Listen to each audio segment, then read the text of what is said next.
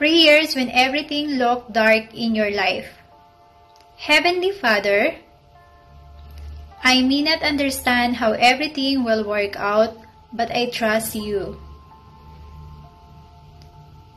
I don't see a way, but I know you will make a way. I have faith at this very moment. You are touching hearts, opening doors, and lining up the right bricks and right opportunities. Things may look dark and bleak now, but I have faith that my dawn is coming. In Jesus' name, Amen.